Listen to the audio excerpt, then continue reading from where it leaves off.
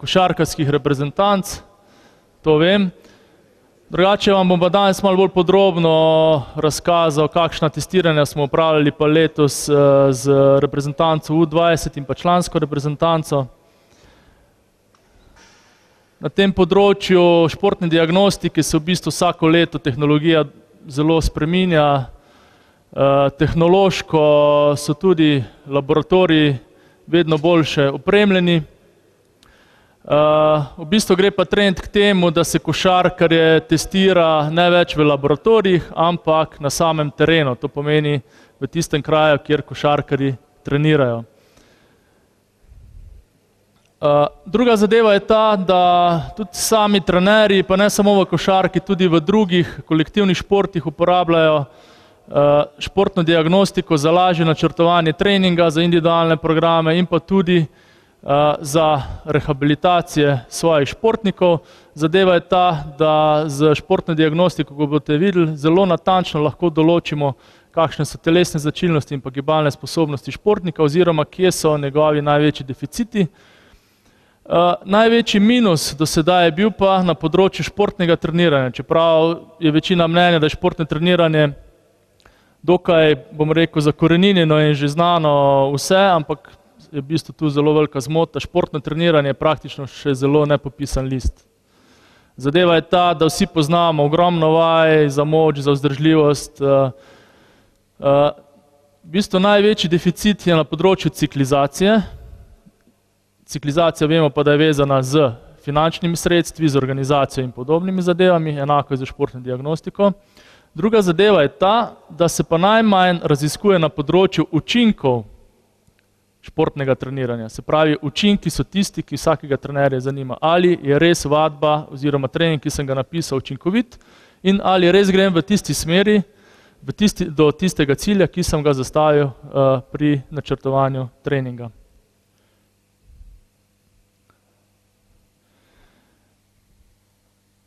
Za učinkovito športno diagnostiko, se pravi za pravilen izbor testov, je vedno zelo pomembno, da sam ekspert oziroma športni diagnostik pozna samo športno disciplino. Vemo, da za testiranje obstaja milijon nekih baterij, zadeva je pa ta, da je vedno potrebno analizirati, kaj so obremenitve določenega športa, se pravi konkretno tudi košarke. Kaj bomo mi sploh testirali, kaj nas zanima. Predvsem pa izhajamo iz tega, kako je sestavljen sam košarkarski trening. Ker vemo, da informacije športne diagnostike bomo uporabili za načrtovanje treninga, to pomeni, da je potrebno iti na začetek, pogledati, kako je sestavljen košarkarski trening, kako je sestavljena sama košarkarska igra, in potem izbiramo ustrezne, baterije testov. Normalno, da nikdar na začetku ne izbereš pravilne baterije testov, zato se tudi športna diagnostika razvija že, lahko rečemo, tudi v Sloveniji cirka petindvajset let in v bistvu v zadnjem obdobju smo pa že prišli tako daleč, ker nam tudi tehnologija to omogoča, da lahko vsako gibalno sposobnost res natančno in objektivno tudi izmerimo.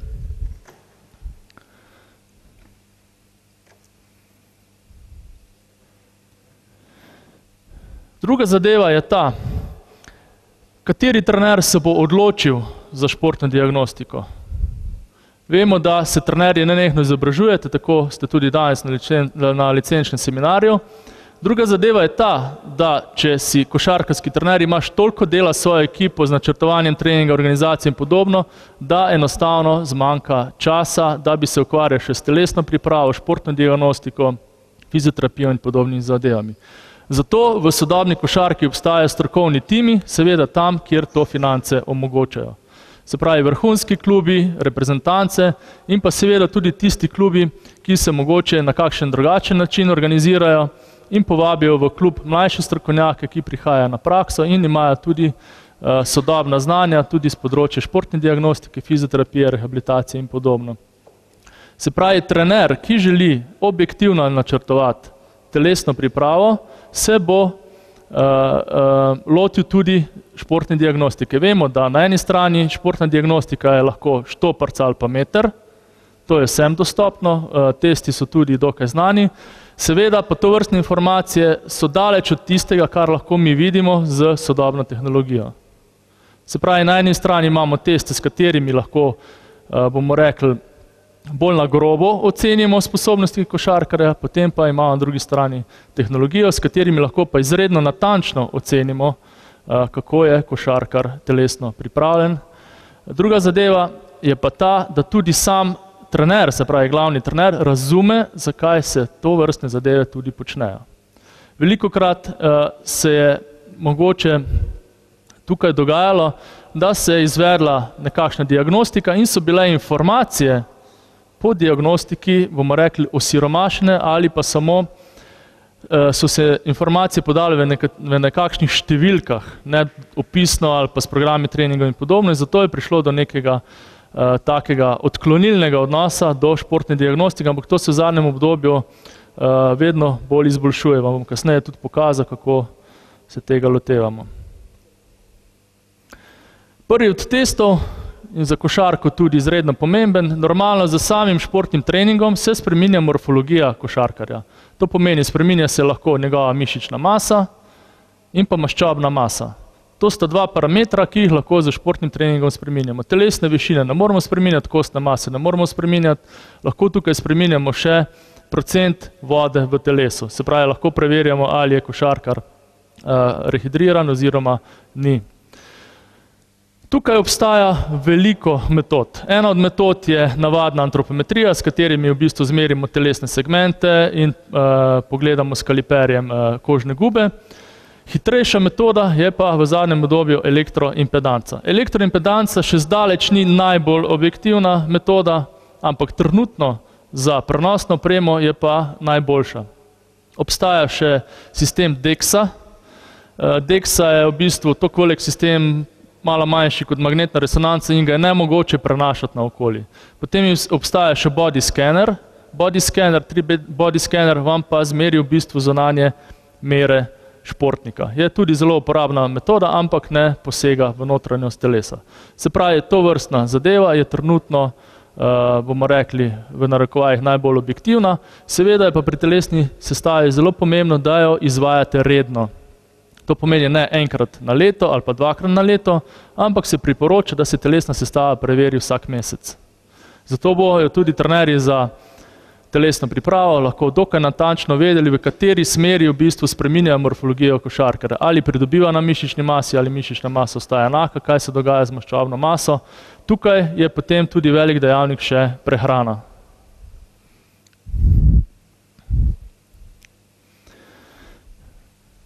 Kot informacijo vam tule pokažem en grafikon, kako se recimo pri športniku vsak mesec oziroma na šest tednov preveri, kaj se dogaja v procesu športnega treniranja s telesno težo in s procentom maščobe. Vidite, da sam trening, odvisno, kako ga zastavite, spreminja telesno maso, enako tudi procent maščobe. Zato je zelo pomembno, da če izvajamo trening za moč, se pravi ciljano za za mišično maso, je pomembno vedeti, kje smo in kam smo prišli. Nemogoče je v bistvu na podlagi nekega subjektivnega razmišljanja, ja, poveča mišična masa, ker sem ugotovil, mogoče pa ni. Mogoče pa maščobna masa poveča, kaj pa vem, kakšen trening smo nastavili. Zato se da to objektivno tudi določiti. Ali smo prišli do cilja, tako kot smo zastavili, ali nismo. Naslednja zadeva, ki bi jo vam rad pokazal, to je en od grafikonov, ki ga dobi vsak selektor reprezentance od U petnajst do U dvajset in pa tudi članski selektor. Se pravi, tole je recimo podatek za branilce U dvajset in analiza gre v tej smeri, da v bistvu že sfiltriramo same podatke in takoj, ko trener pogleda podatke, so branilci razvrščeni po telesni višini. Pravi, so razvrščeni po telesni višini od najnižjega do najvišjega, potem je povprečje reprezentance, najnižji in pa najvišji igralec, telesna teža in pa procent maščobe.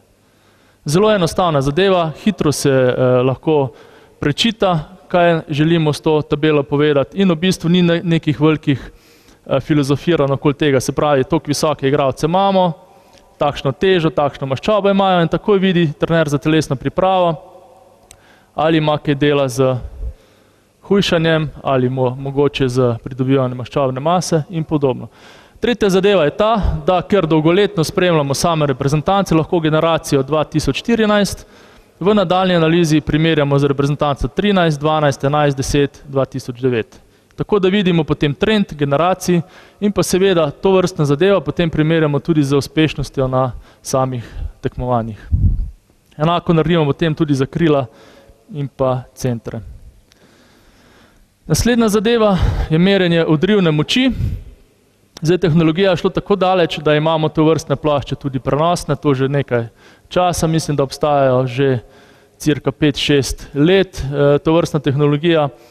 V zadnjem obdobju so se plašče še izboljšale, je že nova generacija to vrstnih zadev. Eh, plašče so pa dobre zato, ker ni ena, ampak sta dve. Zakaj bi to recimo v košarki bilo pomembno? Zato, ker lahko s to vrstnim testom, to je v bistvu preventivni test, s katerim ugotavljamo produkcijo sile leve in desne noge. Vsi vemo, da ima večina košarkarjev dominantno stran.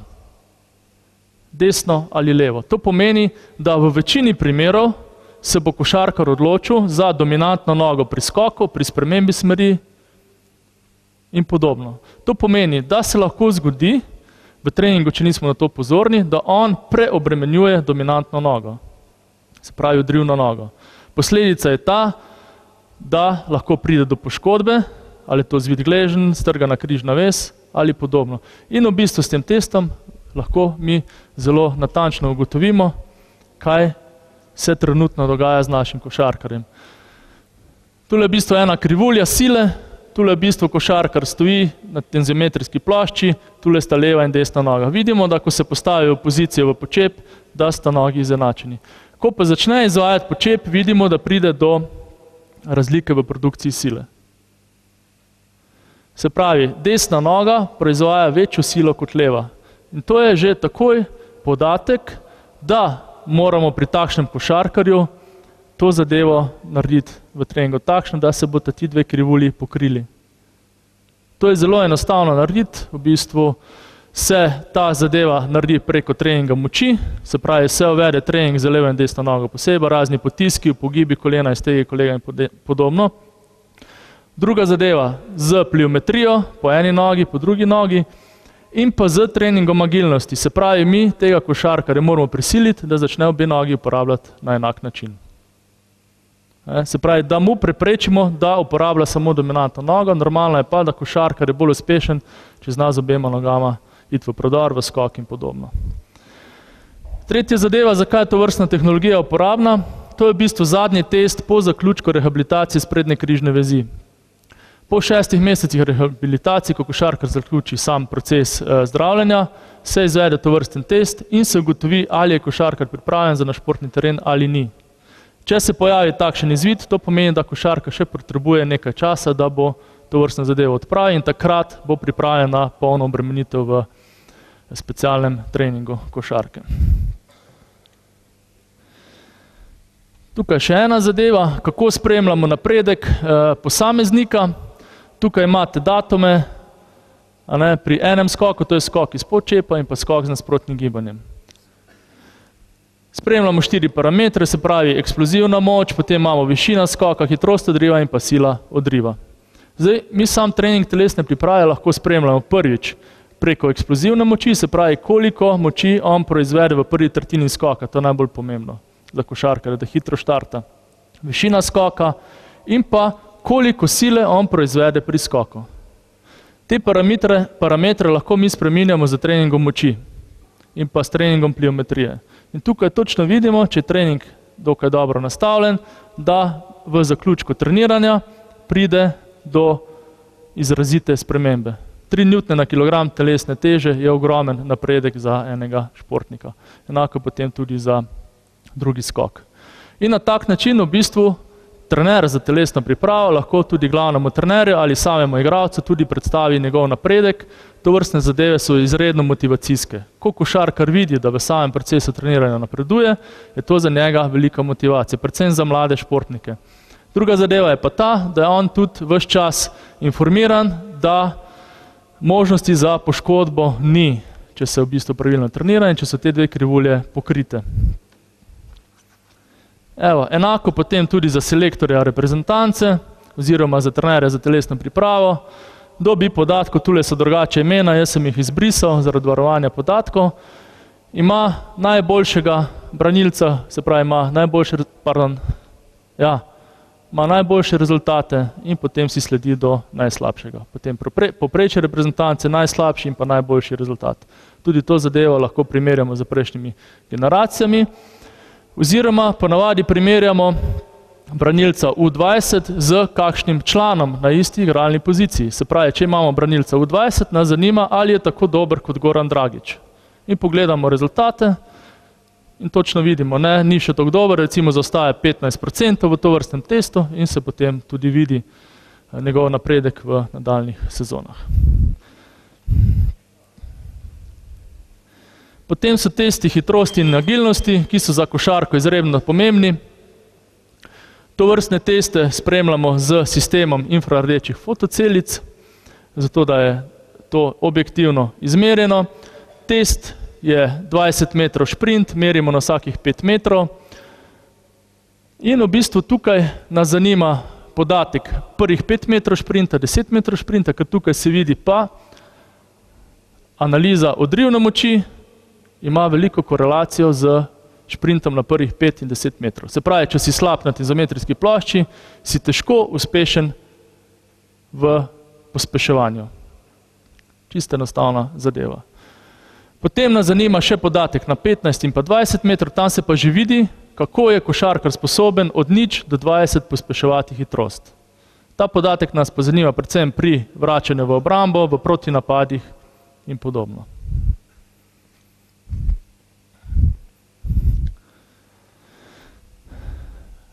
Pri agilnosti imamo ogromno testov. Zdaj mi za uh, reprezentance mlaj, mlajših starostnih kategorij uporabljamo test 6x5 metrov z vodjem in žoge in pa brez vodenja žoge in pa test 6x4 metre v preži, se pravi gibanje bočno v preži. Pri članski reprezentanci smo se z kondicijskim trenerjem odločili, da bomo naredili te test, v izmeri 4x8 metrov, se pravi, on priteče noter 4 metre razdalje, potem pa ima 4 metre na eno stran, pa 4 metre na drugo stran. Se pravi, vidi se sprememba smeri za levo in desno nogo in pa tu je gibanje potem hrbtno nazaj. Tukaj se že vidi, če naredimo enkrat test v desno stran, pa enkrat v levo stran, že vidimo, kako košarkar funkcionira takrat, ko mora iti v svojo dominantno stran in takrat, ko gre v svojo nedominantno stran. Ali sta ta dva rezultata enaka ali se razlikujeta. In že tukaj potem vidiš, mogoče tehnični problem, če snemaš z videom, ali pa je čist problem telesne priprave. In to vrstne zadeve se daje potem tudi odpraviti.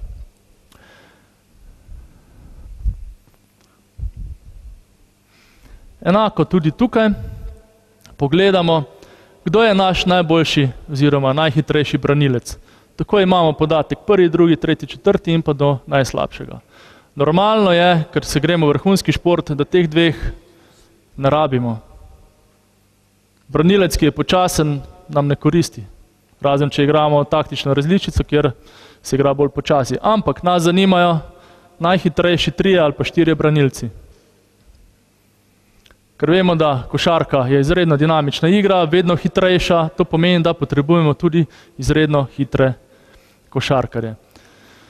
Tile rezultati U20 so izredno perspektivni. 2,92, 2,95, ampak še vedno zaostajajo za najboljšimi člani, za cirka desetinko. Nekje za desetinko zaostajata tale dva za našimi najboljšimi beki v članski reprezentanci. To pomeni, da ti igravci še imajo nekaj treninga pred sabo, da bojo tako dobri kot naši najboljši člani. Potem pa pridemo do merjenja hitrostne vzdržljivosti. Včasih se je izvajal Cooperjev test, 2400 metrov ali pa 12 minutni, vemo, da je šport šel tako daleč, pa športna znanost tako daleč, da smo te teste opustili, ker niso nič podobni košarkarski igri in smo prišli na intervalni test, ki je dolg 20 metrov. Ta test smo razvijali z dr. Rčuljem na fakulteti za šport, za uporabo uh, mask za porabo kisika, In smo vzeli v bistvu en model testa na 40 metrov in smo ga modificirali na test na 20 metrov in izkazalo se je, da to vrsten test da dosti bolj objektivne in specifične informacije za trening telesne priprave. Kako test zgleda, vam bomo pokazali. V bistvu zmerite 20 metrsko dolžino, imamo audio signal in audio signal v bistvu da pisk, da mora biti košarkar na eni in pa na drugi strani. Test se začne z 8 km na uro in vsakih 45 sekund je pol kilometra hitreje. Teče 30 sekund, 15 sekund ima odmor. In to je v bistvu en test, ki ga izvaja košarkar, dokler ne zaostaja več kot 3 metre za črto, se pravi za piskom. To je en od testov. Poznamo tudi jojo teste, različne jojo teste. Zadeva je takšna, da pač izbereš tisti test, ki bo košarkarja resnično pripeljal do maksimalnega srčnega utripa. To pomeni, da test ne sme biti prekratek, tako po trajanju časovnem, kot tudi dolžinskem. Se pravi, košarkar, ki na tem testu naredi nekje 19 ali 20 km na uro stopnjo, bo pretekel uh, malo čez 2 km. To pomeni, to pa je že približno tista uh, razdalja, na kateri pa merimo največjo porabo kisika pri športnikih. Druga zadeva je ta, da smo v ta test uvedli še telemetrično merjenje srčnega utripa. To je tehnologija, ki jo uporabljamo cirka nekje šest let. Najprej je bil Polar System 1, kjer smo imeli merilce srčnega utripa, ampak je bilo potrebno podatke po treningu ali pa po testiranju vzeti dol iz uh, spomina na računalnik. Novi sistem omogoča online, se pravi v živo spremljanje samih košarkarjev. Vidite tukaj. Košarkar izvaja test ali pa tudi, če bi izvajali trening, lahko glavni trener ali pa trener za telesno pripravo vse čas spremljata, kakšen je njihov srčni trip, v katerih zonah obremenitev se nahaja košarkarji, ali se kateri od košarkarjev po domače rečeno šverca, kdo je najboljši treniral in v katerih zonah so trenirali. Na koncu treninga lahko tudi pogledaš, koliko časa je bil v najvišjem srčnem tripu, potem 90%, 80% in tako dalje. In tudi na tak način lahko potem preveriš uh, samo intenzivnost treninga. Druga zadeva je pa ta, katerih podatkov pa še nimamo. V rokometu sem jaz v štirih sezonah v bistvu zmeral Evropsko prvenstvo, Ligo prvakin in še ne par uh, mednarodnih tekem. V rokometu točno vemo, v katerih zonah se gibajo rokometaši. V košarki bomo pa z letošnjo sezono pričeli z enakimi zadevami in bomo na nekaterih kadetskih in mladinskih tekmah te analize tudi naredili. Zato, ker bomo rekli, nimamo še objektivnih podatkov, kje se nahaja košarkar. Nekaj meritev sicer je že bilo izvedenih v preteklosti, ampak da bi rekli, da imamo veliko bazo izmerjenih košarkarjev, pa nimamo. Zdaj za sam trening telesne priprave oziroma specialne zdržljivosti nas pa res zanima, v katerih zonah se košarkar giba skozi celotno tekmo. Ne? Zato, da bomo lahko tudi pripravili trening zdržljivosti v teh območjih. Tole čisto za informacijo, kako izgleda srčni trip pri testu 30-15. Vidite, da normalno na štartu srčni trip naraste, potem pa doseže nek plato. Ne? Vidimo pri tem košarkarju eno zadevo. Se pravi, ko je zaključil en nivo testa, ima najvišji utrip in potem mu rahlo pade in spet dvigne in pade, dvigne in pade. Se pravi, košarkar pač teče do takrat, uh, dokler dohaja časovni, uh, pardon, uh, zvočni signal. To pomeni, da je individualno uh, modificiran test. Se pravi, če zdrži 17 km, bo takrat odstopil, če zdrži 21, bo tekel do 21. Druga zadeva, da na podlagi tovrstnih podatkov lahko mi sestavimo homogene skupine za kondicijski trening. Se pravi, naredili bomo tri skupine, najboljše po rezultatih, se pravi, tisti, ki je pretekel, vem, 20, 19, 18 pa pol, ni pa nujno, da je to beg, lahko je tudi uh, visoko krilo, ne, ali pa štirka in je tako dobro telesno pripravljen, da bo pač treniral z beki, se pravi na treningu eh, specialne vzdržljivosti. Motivacija je pa ta, da tisti, tisti, ki so v tretji najslabši skupini, jih motiviramo na ta način, da če bo boljši na treningu, pridejo v skupino dve. Normalno, tisto, ko se bo švercal v skupini ena in ne bo naredil treninga tako, kot se spodobi, bo šel v skupino dve. In tako v bistvu potem igravci prehajajo iz ene v druge skupine. Normalno je pa za tiste, ki so motivirani, da bi bili vsi v skupini ena. Ne? Evo, in tukaj potem, če mi recimo uh, periodično spremljamo uh, napredek igralca, lahko vidimo, da če nastavimo dober trening, intervalni trening, lahko izredno dobro napreduje. Se pravi, tule vidimo od 13.5. do 26.8. je športnik napredoval za 5 stopenj na tem testu. Druga zadeva je tudi ta, da ne gre samo za sposobnost zdržljivosti, ampak gre tudi za motivacijski faktor. Nekateri igralci enostavno niso pripravljeni trpeti. To se dogaja predvsem pri mlajših starostnih kategorijah, 15, 16, 17 let, fantje in punce. Nekateri enostavno se ustavijo pri 17, kljub temu, da bi lahko pretekli 19. To je pa potem stvar pristopa v treningu. Mi enostavno mlajše košarkarje, se pravi nekje od 16 do 18 let, moramo dati v območje trpljenja, tako v narekovajih. Da jim naredimo tak intervalni trening, da se naučijo malo potrpeti in trenirati v tem območju 19 km na uro oziroma tudi več. Ker enostavno sodobna košarkarska igra zahteva vrhunsko pripravljenega košarkarja, drugače bo težko uspešen. Recimo naši najboljši člani pretečejo 21 km na uro. Vam potem pokazal podatke za U20. U20, U20 je najboljši, je pa 19, bek. Štiri stopnje mu manjka do najboljšega člana. To je kar neki treninga še, a ne? Da ne govorimo potem o ostalih. Tudi poraba kisika vidite, da je pod 50, a ne? Se pravi, te tekmovalce na U20 jim je potrebno predstaviti, da če želijo igrati košarko na visokem nivoju kot naši člani, je potrebno trenirati. Tudi telesno pripravo, ne samo košarko ali pa razmišljati, zdaj sem pa je že dober, ker sem bil v reprezentanci U20, zdaj pa meni treba več trenirati. Ravno nasprotno, če si bil V20, je to velika motivacija, da bo začel trenirati, da boš v naslednjih sezonah mogoče kandidat za člansko reprezentanco oziroma za nek vrhunski klub. Ampak s to vrstnimi rezultati bo to zelo težko.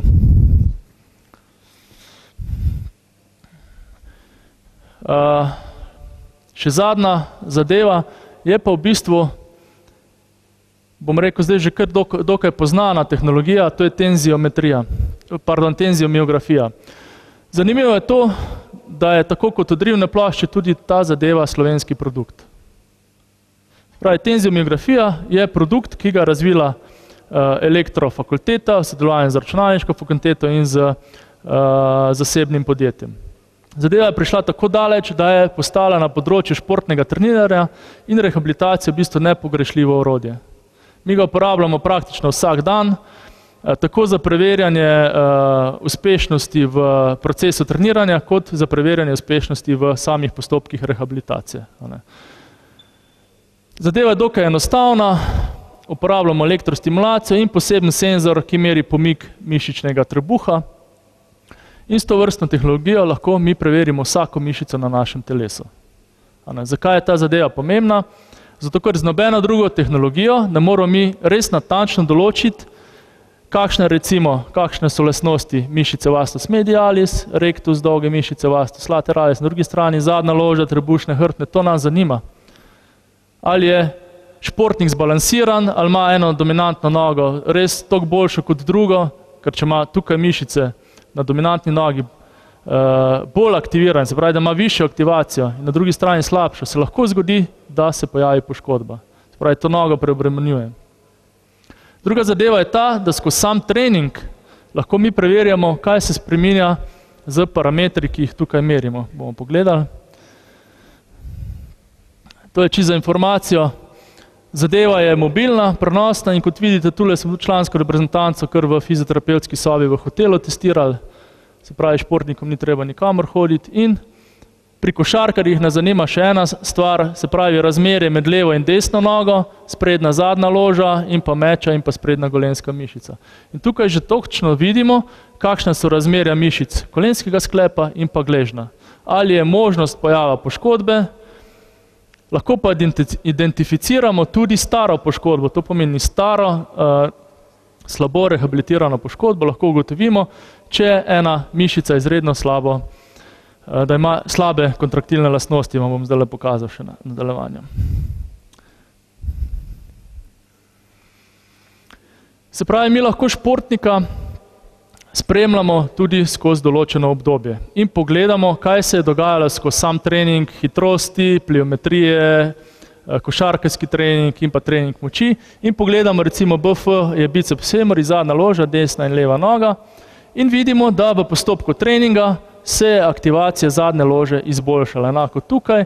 In potem pogledamo v bistvu še meča, sprednja stegenska mišica, sprednja golenska mišica in pa mišica vastus medialis. In potem na tak način lahko spremljamo, kaj se dogaja z našim športnikom, ali, a ga bomo zbalansirali ali pa se bo njegovo mišično ravnovesje podrlo s samim treningom, kar se tudi lahko v določenih primerih zgodi. Tukaj je zdaj tisti primer, ko sem vam rekel, asimetrija leve in desne noge. Tukaj vidimo krivuljo mišice na vastus medialis, to je kolenska mišica na levi in pa na desni strani. Na desni nogi je bila strgana križna vez in je bila opravljena končna rehabilitacija, se pravi po šestih mesecih. Je bil tako trener kot kirurg sta bila mnenja, da je športnik pripravljen za na teren. Zadeva je pa ta, da nista uporabljala drugih diagnostičnih metod kot samo magnetno slikanje, ki se opravi pred operacijo, in pa test potiska z eno nogo, ampak zadeva je pa taka, da aktivacija mišice na desni strani je pa petintrideset procentov slabša kot na zdravi nogi. To pomeni, da tak športnik še ni pripravljen za na teren. Pomeni, da še mora narediti določen del rehabilitacije. Recimo takšnale zadeva lahko traja tudi še šest do osem tednov, da bo športnik v bistvu zbalansiran, da bo obe mišici imel enake. In v bistvu s tovrstno tehnologijo lahko potem res zelo natančno in objektivno ocenimo od a do ž pri našem športniku, kar zadeva telesno pripravo.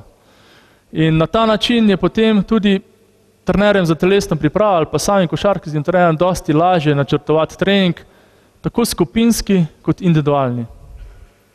Ker lahko pogledaš globalno, moja ekipa je, ne vem, v hitrosti taka, vzdržljivosti taka, skočna moč je taka, ne vem, ta ima težave zadnja loža, on ima to, to, to. Se pripravi globalni plan, potem pa, če greš res zelo natančno, tudi individualni programi. In ko imaš individualne programe, ko pogledaš športnikove deficite, lahko sestaviš skupine in si organiziraš trening, se pravi v fitnesu bojo ti športniki delali skupaj, ker imajo iste težave, ti skupaj in ti skupaj. Če bomo delali vzdržljivost, imam tri skupine, najboljša, srednja in pa najslabša. In tako dalje. In na tak način lahko potem izredno lahko preverjamo napredek v našem procesu treniranja in tudi rečemo, začeli smo tukaj, in pokažeš na koncu sezone ekipi, tule smo pa zaključili našo sezono. Res je, da ne s stoprocentno gotovostjo reči, da če bo ekipa ne vem koliko telesno pripravljena, bo tudi vse zmagovala. Normalno, da je tudi kvaliteta košarkarske tehnike in taktike tista, ki odloča. Je pa res, da pa če so dobri temelji v telesni pripravi, je tudi potem košarkarska tehnika dosti boljša. In pa tudi taktične različice so lahko dosti bolj zahtevne, kakor če imamo slabo pripravljeno ekipo. Normalna zadeva, tako v obrambi kot v napadu.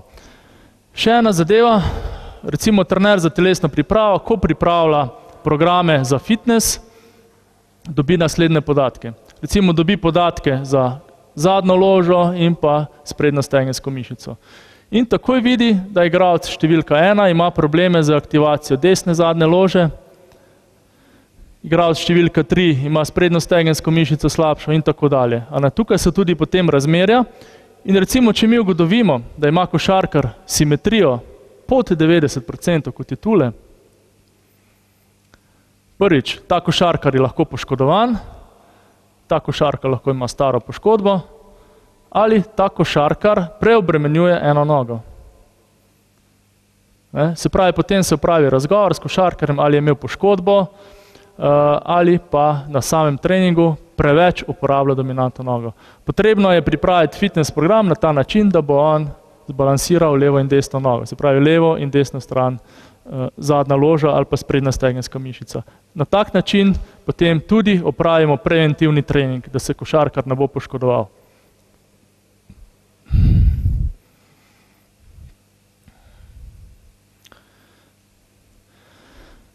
Tako smo že govorili, se pravi,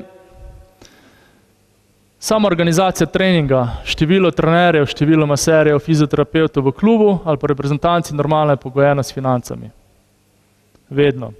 Druga zadeva je pa ta, da imate tudi sami mogoče enega, dva, tri ali celo štiri igralce v reprezentanci. Kaj to pomeni? To pomeni, da so ti igralci vsaj dvakrat letno testirani. Do vseh teh podatkov, ko sem jih danes kazal, lahko vi pridete kot trenerji. To pomeni, če imate svojega igralca v reprezentanci, samo napišete mail, želim imeti vse podatke o svojem igralcu in jih normalno dobite. To je nacionalni program, eh, ki v bistvu zaenkrat podpira delo z mlajšimi reprezentancami v okviru regijskega selekcioniranja in nacionalnega programa in pa tudi članska reprezentanca. Druga zadeva je pa ta, da želimo to vrstne informacije, ki jih pridobivamo v delo z reprezentancami, prenašati tudi na delo v klubih. Vemo, da se recimo v zadnjih petih, šestih letih se ta zadeva izrazito izboljšala. In se tudi vidi, kateri klubi recimo dajo poudarek na telesni pripravi, ker ko pridejo igralci recimo na testiranje ali pa v samo reprezentanco, se opazi, da imajo veliko znanja glede telesne priprave, da so dobro telesno pripravljeni. Druga zadeva je ta, da lahko informacije, ki jih trenutno razvijamo, damo tudi vam. Zadeva je samo takšna, da tizga, ko zanima. Jaz sem tudi v bistvu že pripravil material, ga imate na spletni strani, kar zadeva to predavanje. Je pa uh, zadeva šla tako daleč, da bomo poskušali znotraj uh, Združenja košarkarskih trenerjev uh, ustanoviti tudi, bomo rekli, eno manjšo sekcijo trenerjev za telesno pripravo, ki bodo prenašali svoje informacije tudi na vas. To pomeni vse naše izkušnje, znanja, ko se bomo deležovali raznih uh, kongresov, usposabljanj in tega bomo prenašali informacije tudi preko spletnih strani oziroma preko nekih gradiv, ki ste jih tudi zdaj dobili, tudi na vas. Tako da boste vse čas informirani, kaj se dogaja na področju telesne priprave v svetu in pa tudi uh, pri nas doma. Ker zadeva je taka, da imate ogromno znanja, uh, za, samo zložite ta mozaik, vzamete nekaj več časa uh, košarkarskemu treningu in pripravite programe za telesno pripravo. Ne. Gre samo za to, da dobite informacije, kako zložiti vaje skupaj, kaj gre k kateremu treningu. Če pa imate igralce v reprezentanci, pa tudi dobite informacije, aha, to je naš najboljši igralec ali pa naši najboljši tri igralci, vidim, da je slab tu, pa tu, pa tu. V naslednji sezoni se bomo potrudili, da bo ta igralec te deficite tudi odpravil. Ali bo delal več moči, ali bo delal več pliometrije, več agilnosti in podobno. Ne, ne bo napredoval samo zato, da bo igral v reprezentanci, ampak normalno bo posledično boljši tudi v klubu, kar pa vsak klub tudi zanima, da ima se pravi zelo dobre igralce. Jaz sem malo hitreje zaključil predavanje, ker vem, da greste vsi na košarko, pa da vas ne zadržujem. Če kako vprašanje.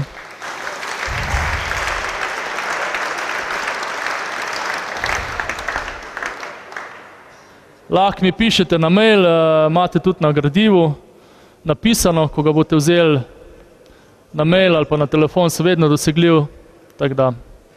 Hvala.